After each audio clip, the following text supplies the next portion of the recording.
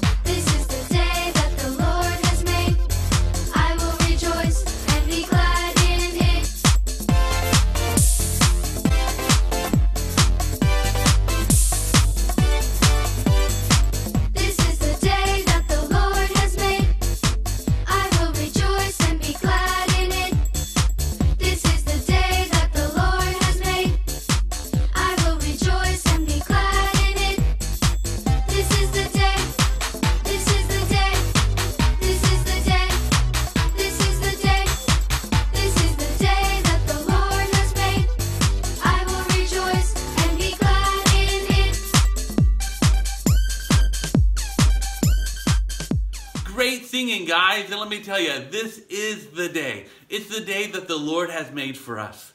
Well, when we talk about the attributes of God, there are certain things about God that everyone needs to know.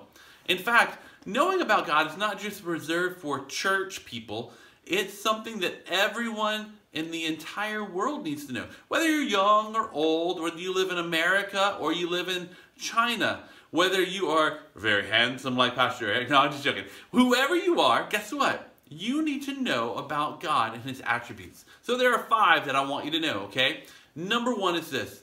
There is no one, no thing, no being like God anywhere ever. He stands alone.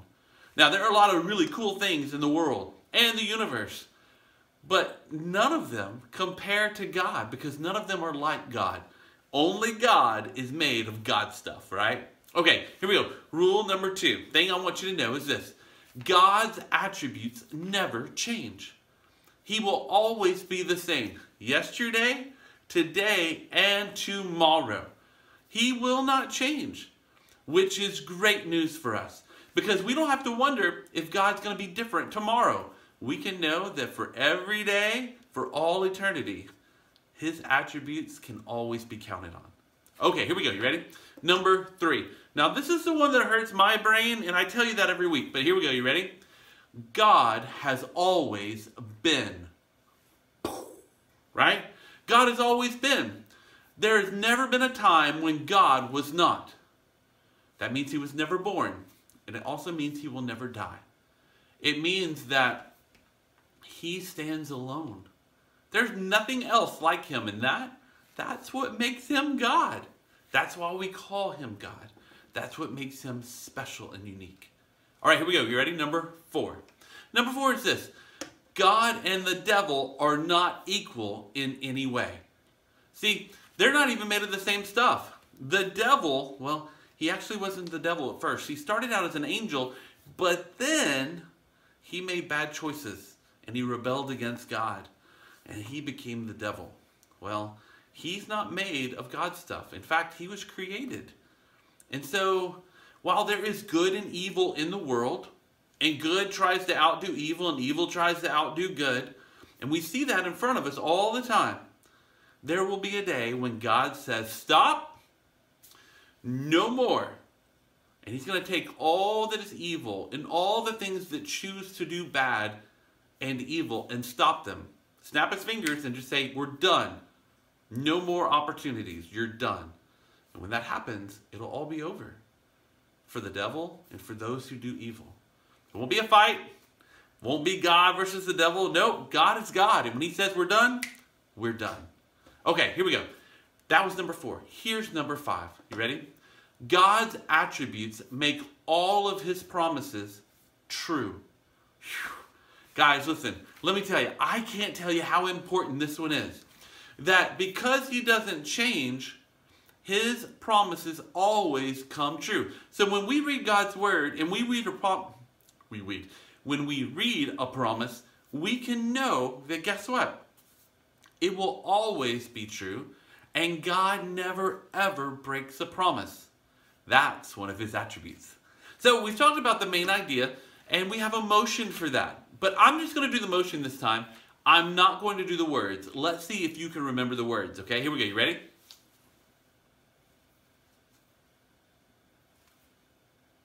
Okay, one more time. You ready?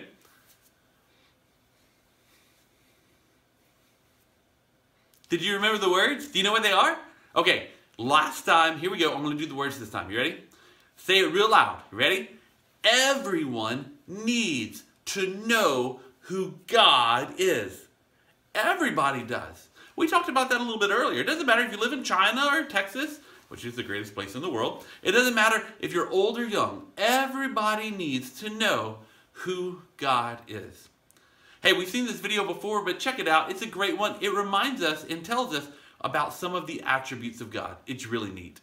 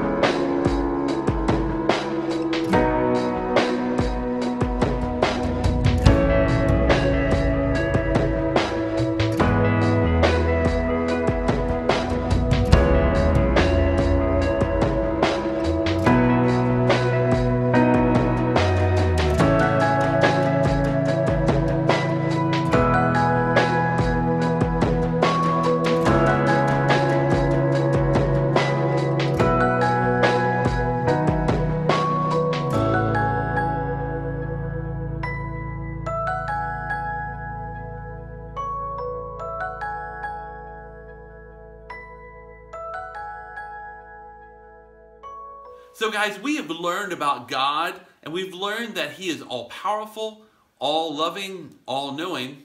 So, who can guess what the attribute is for today? What are we going to learn about God today? Any guesses? Okay, check it out. We're going to play a little game to see if you can figure it out.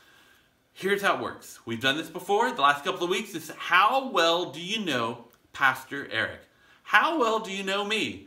And can you get, guess my answers? So here's the deal. I'm going to show you two things that are true and a third thing that is not true. So you have choice A, B, or C. All you have to do is guess which one is wrong, which one is not true. Now listen, I'm going to try to trick you. I am. I'm going to speak about all three of these things like I have done them. But one of them is not quite true. Well, not true at all, okay? So here we go. Number one, which one of these is false? A, I have been to Australia, down under, right? Man, let me tell you, it is amazing and the wildlife is fantastic.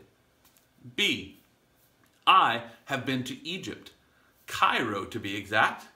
Or C, I have been to Germany.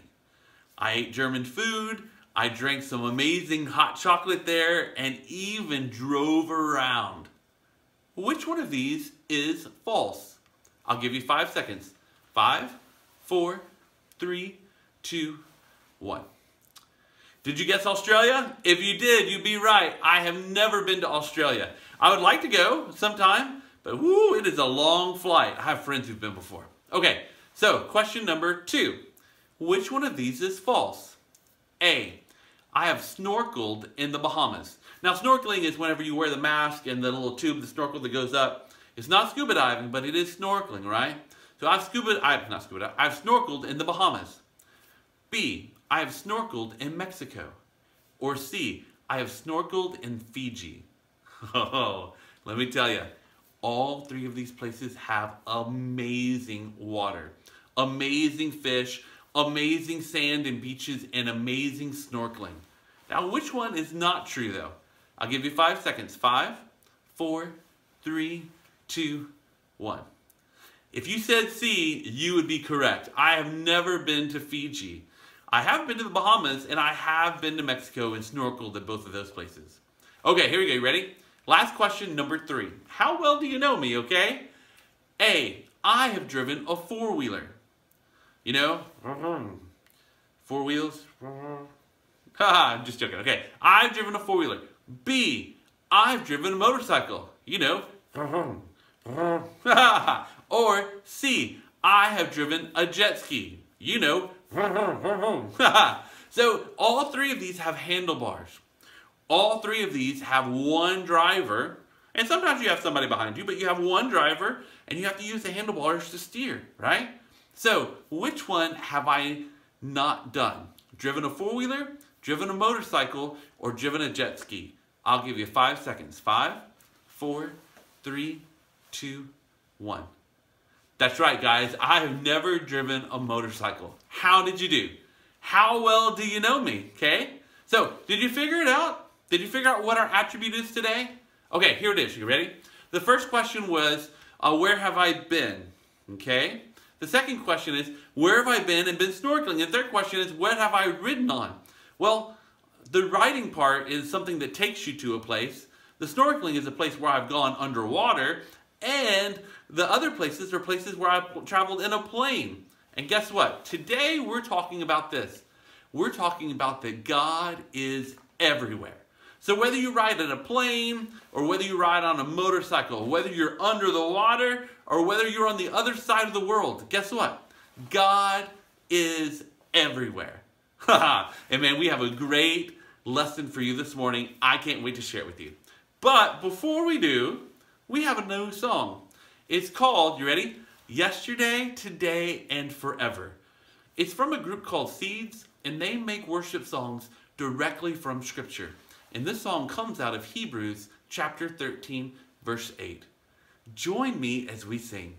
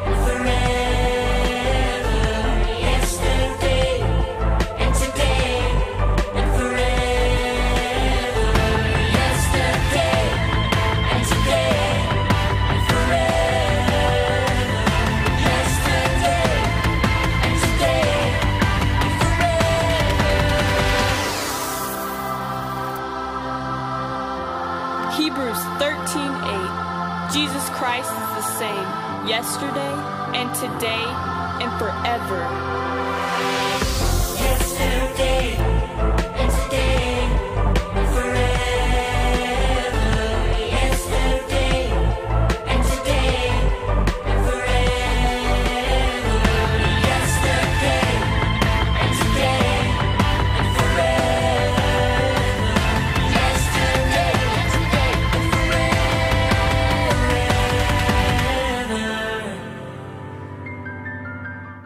Singing, guys. Well, hey, guess what? It is time for us to open our Bibles. So grab yours. I've got mine right here. And today we're going to be in Psalm 139. Now, I know what you're saying, Pastor Eric. We were in Psalm 139 last week. You're right, we were. But we're going back because Psalm 139 teaches us a lot about God and a lot about his attributes and about who he is.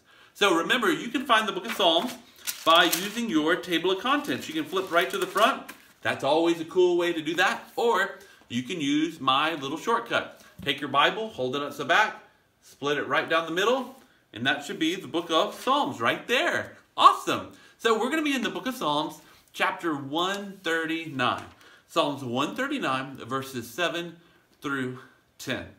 All right, y'all go ahead and start turning there. I found, oh, I found mine right here. okay, Psalm 139, verses 7 through 10.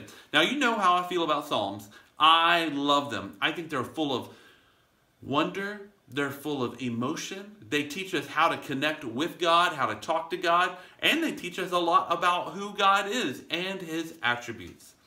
And I think that with 150 chapters in the book of Psalms, it's good to read one every day.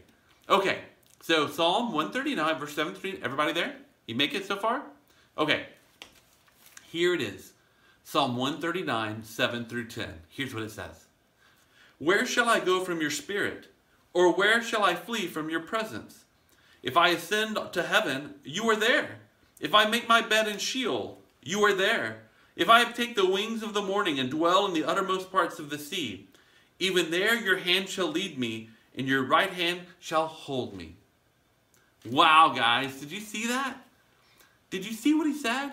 He said, Where can I go from your spirit?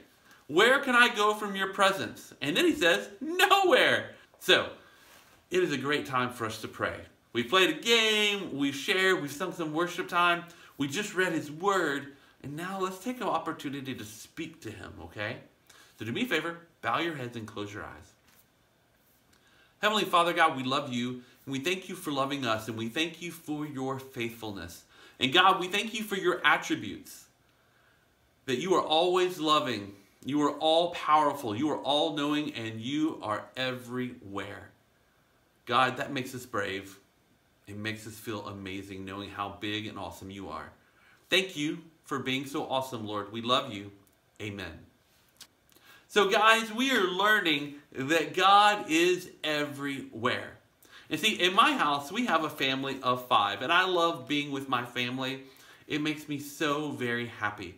But you know, I have family in other places too. I have family that live in other parts of Texas, and I love them.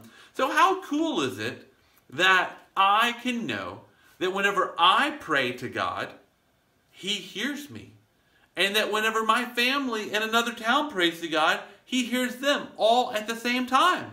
That God not only knows everything, but He is everywhere. So that whether your family is here or there, or maybe you have friends all the way in Thailand, who knows, right? That God is able to be all of those places at the same time. So there's a really big word that um, describes this. It's called omnipresent. Now, I don't expect you to remember that, but omnipresent essentially means this always there, like he's everywhere all of the time. So, God's presence is bigger than everything. The Spirit of God, his ability to be everywhere at the same time, means that he is bigger than all of the universe. He is everywhere that can be known. If you can be there, his presence is there. Okay, you ready? And here's something that's going to blow your mind. Another boop moment. You ready? God is not just on earth and in space and in all the other planets. Guess what? All of space in all of the universe is contained in God. Wow. Did you hear that? God is bigger than our universe, bigger than anything we can possibly imagine. That's part of what makes him God. Oh, so here we go. God, a couple of things we're looking at today is that God is always everywhere. God cannot be contained. We are not separated by God by distance, but our heart. We'll get to that in just a second. And God can always hear our prayers, no matter where we are. Okay, so we've learned a lot so far. That's a little preview about what we're about to talk about. But first, here's a little quick quiz with the scramble. Now, the scramble's this. We're going to talk about the attributes of God, and then I'm going to put a word and I'm going to scramble up the letters. I'm going to give you some clues, and then you're going to try to figure out what it says. Good luck.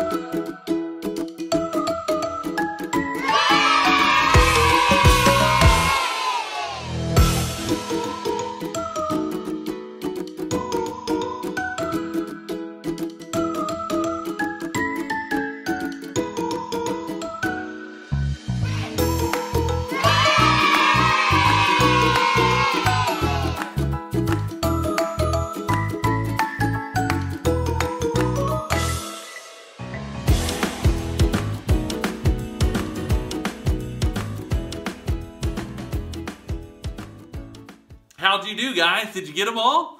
Awesome. The more we learn about God, the more awesome He becomes. So here we go. You ready? God is always everywhere, right? God never takes a day off, and He never ever limits Himself. God is everywhere because He is, well, God. In the book of Jeremiah, chapter 23, verse 24, here's what it says. You ready? Am I a God at hand, declares the Lord, and not a God far away? Can a man hide himself in secret places so that I cannot see him, declares the Lord? Do I not fill heaven and earth, declares the Lord? Did you hear, see what he said? Can a man hide himself from me? No, God knows where everybody is. Why? Because God knows everything, but he's also everywhere. It says, Do I not fill the heaven and earth? Yes, God, you do. He fills everything. So God is always everywhere.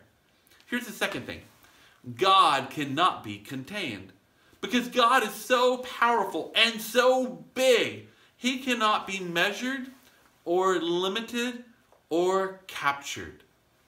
Second Chronicles chapter 2 verse 6 is in the Old Testament. And here's what it says. But who is able to build him a house?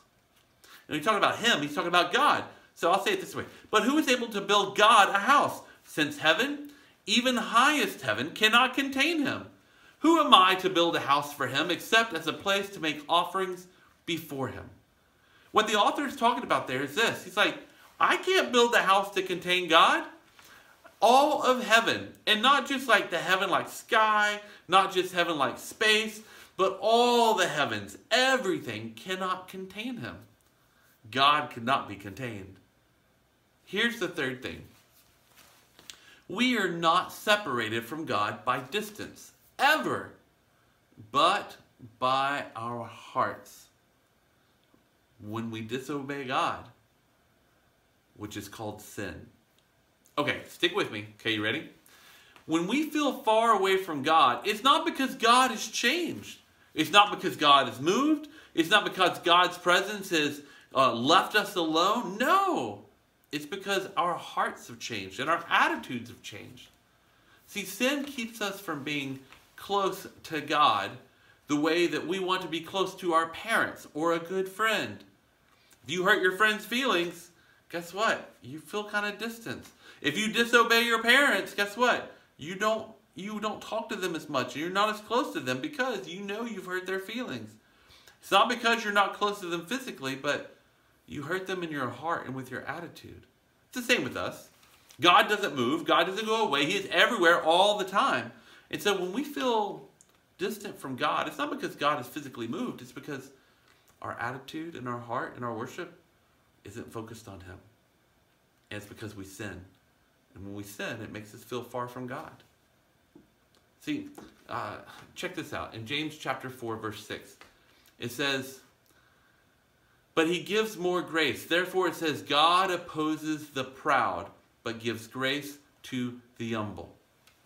You're like, what does that mean, Pastor Eric? Here's what it means God opposes the proud means that God doesn't like it when we are prideful, when we disobey, when we act like we're better than other people, or that we know more than Him. He doesn't like that. Instead, He gives grace to the humble.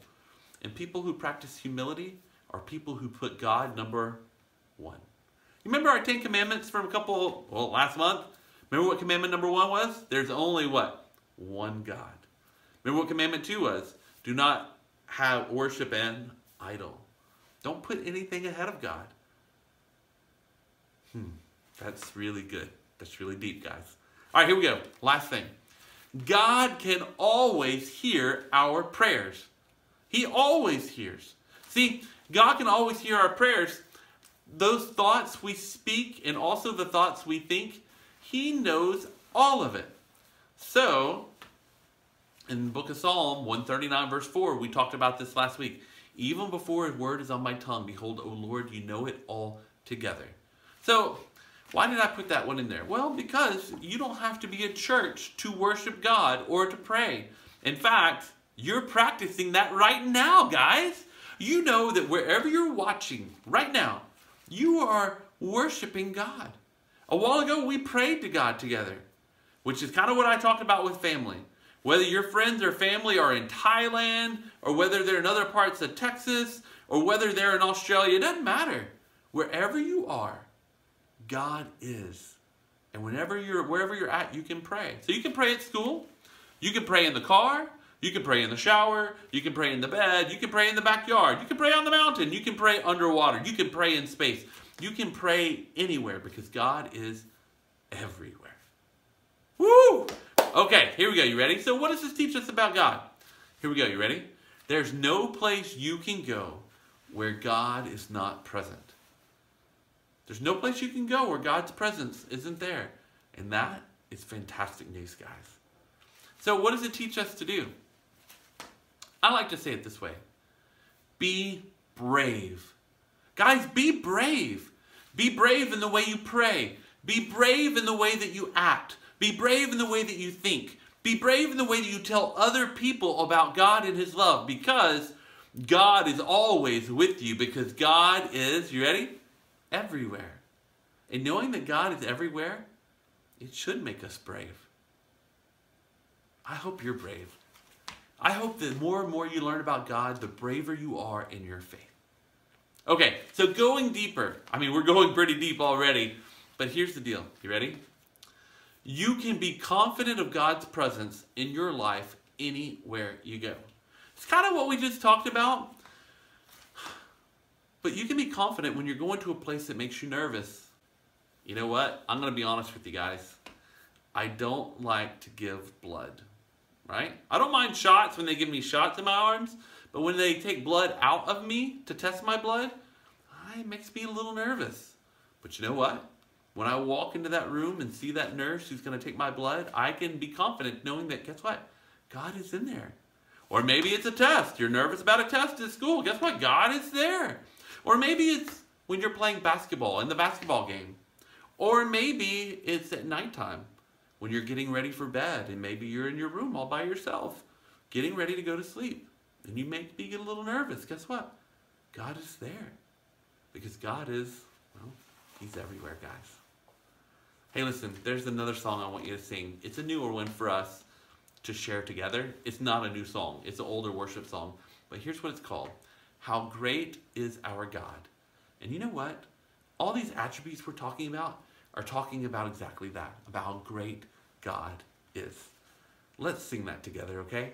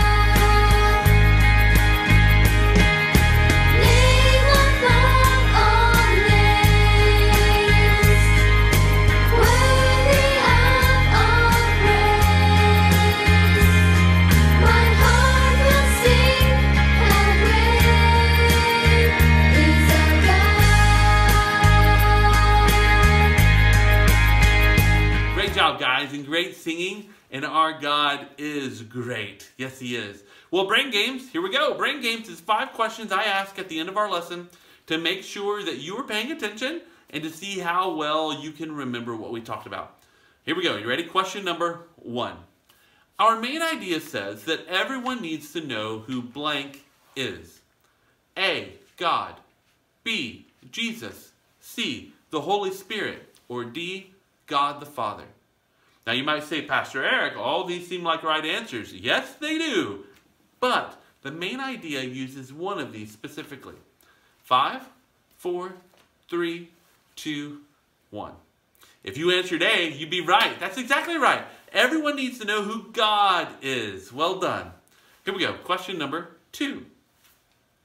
Our scripture today was found in the book of blank Peter, Psalms, Proverbs, or Philippians.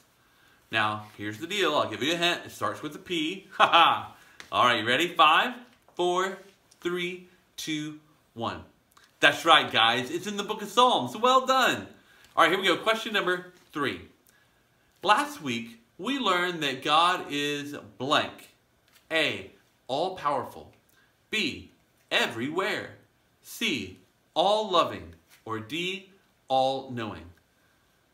You have five seconds. Five, four, three, two, one. That's right, guys. It's D. It's all knowing. Now we've learned all four of these, but last week, last week we learned about God knowing everything. All right, here we go. Question number four. Because God is everywhere, he can always hear my blank. A. Voice. B. Thoughts. C. Prayers. D. Concerns. Hmm. Five, four, three, two, one. Haha! Hey, trick question. Guess what, guys? All four of those. Because God is everywhere, He can hear our voice. He can know our thoughts. He can hear our prayers. And He even knows when we're worried. He knows all of that. Okay, so here we go. Last one, number five. Here it is. I can feel far away from God when I blank. I can feel far away from God when I A. Go scuba diving. B. Sit alone in the dark. C. Disobey Him, which is called sin. Or D. Am asleep. Which one can make me feel far away from God? You got five seconds. Five, four, three, two, one. That's right, guys. When I sin, when I disobey God, it's called sin, and it can make me feel far away from Him. Even though I'm not, it can make me feel that way. Well, guys, I hope that you got all five right. I hope that you have been encouraged with your faith today, and I hope you have a wonderful rest of your day. God bless you, and we'll see you next time. Bye.